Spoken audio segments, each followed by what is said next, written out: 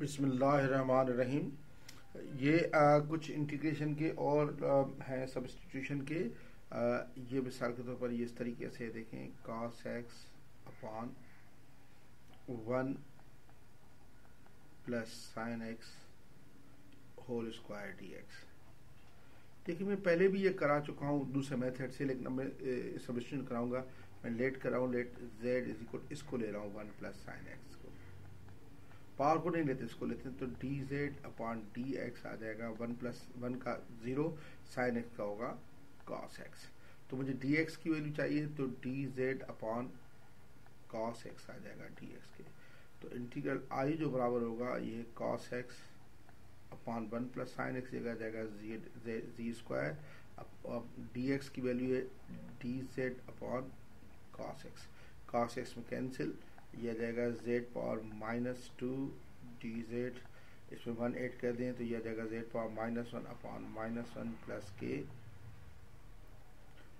इसको सिंप्लीफाई करेंगे तो यह जाएगा minus one upon z plus k अब जेड की वैल्यू थी हमारी वन प्लस साइन एक्स तो यह जाएगा minus one upon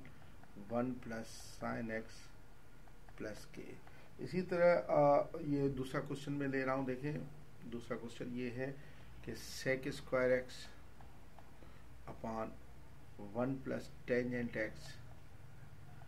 का होल क्यूब डी एक्स देखिए, अगर मैं ये टी ये यू ले लूँ u is equal to one plus tangent x के तो d u upon d x जो आता है, वो आता है टेंजेंट एक्स का होगा सेक स्क्वायर एक्स तो मुझे डी एक्स की वैल्यू भी चाहिए तो d u upon sec square x आ जाएगा डी एक्स के तो इंटीग्रल आर इज़ इक्वल होगा सेक स्क्वायर एक्स वही है, अपॉन सेक स्क्वायर एक्स समान आ जाएगा u cube into d x की जगह आ जाएगा d u upon sec square x देखिए sec square x sec square में एक्स में कैंसिल होगा u power minus three d u u power minus three d u minus इसमें one add करेंगे तो यू पावर जाएगा minus two upon minus two plus k तो ये आ जाएगा minus one upon two u square plus k. तो अब u जो है, वो हमने लिया हुआ था u लिया वन प्लस टेंजेंट एक्स के तो यह आ जाएगा माइनस वन अपॉन टू और वन प्लस टेंजेंट एक्स का होल स्क्वायर प्लस के, इस तरीके से। अच्छा अब आप देखिए, एक और क्वेश्चन है। देखिए इंटीग्रेशन सब्सटीट्यूशन आपको खुद से भी सिलेक्ट करनी आनी चाहिए, लेकिन पी थ्री के स्टूडेंट्स के लिए वरीड होने की ज़रूरत नहीं है, वो हमेशा पी थ्री के बच्चों को सब्सटीट्यूशन दी जाती है cos square x power four d x लेकिन कॉमन सेंस देखिए cosec square x power four का डेरिवेट नहीं निकल सकता। कोसेक स्क्वायर टी का निकल सकता तो मैं इसको टी ले लूँगा। इसको तो देखें t is equal to x power four के ले लिया तो d t upon d x जो आ जाएगा आ जाएगा फोर एक्स क्यूब के। तो मुझे डी एक्स की वैल्यू चाहिए तो d t upon four x cube आ जाएगा डी एक्स डी एक्स के। तो अब ये इंटीग्रल आई जो है, ये इंटीग्रल आई सपोज़ करें, ये फोर एक्स क्यूब वही है इंटू कोसेक स्क्वायर ये टी है इंटू डी एक्स की वैल्यू है d t upon four x cube x cube x cube में कैंसिल फोर फोर में कैंसिल कोसेक स्क्वायर टी का डिग्री होता है minus cot t plus c तो जाएगा minus cot x power four plus c ये इस तरीके से हो गया। आप देखें एक आ, और इंटीग्रल मिसाल के तौर पर ये दे रहा है कि x power four sec square x power five d x के। तो आप ले लें t is equal to x power five के तो d t upon d x जो है ये आ जाएगा फाइव एक्स पावर फोर के। तो d t upon five x power four आ जाएगा डी एक्स के। तो इंटीग्रल आई आ जाएगा एक्स पावर फोर वही है। यह जाएगा sec square t into d x की जगह आ जाएगा d t upon five x power four x power four x power four में कैंसिल ये जगह वन अपॉन फाइव और ये इंटीग्रेशन में sec square t d t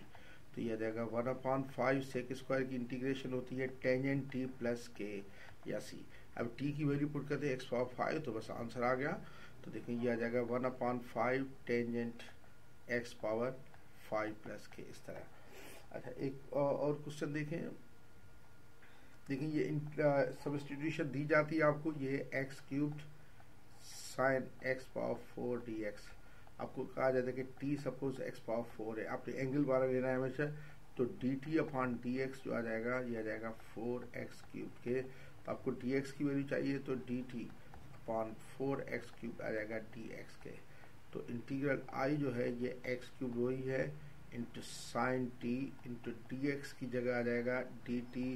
upon four x cube x cube x cube में cancel ये जाएगा one upon four और साइन टी डी टी की integration one upon four sine t t की integration तो ये जाएगा one upon four sine t की इंटीग्रेशन होती है minus cos T plus k तो यह जाएगा minus one upon four cos t की जगह आ जाएगा cos x power four plus k. इसी तरह हम दूसरी इंटीग्रेशन कर लेते हैं, देखें इस तरह मुख्तलिफ़ इंटीग्रेशन करते, कर सकते हैं, जो भी हमें दिया जाए मिसाल के तौर पर आपको ये दिया जा रहा है कि sine two plus three l n x upon x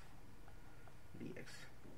तो मैं ये सपोज़ टी लेता हूँ two plus three l n x के। क्योंकि साइन इसकी तो इंटीग्रेशन मुमकिन नहीं है तो साइन टी की हो जाएगी। तो d t upon d x कितने का जाएगा? टू का तो नहीं होगा थ्री एल एन एक्स होगा थ्री अपॉन एक्स मुझे डी एक्स की वैल्यू चाहिए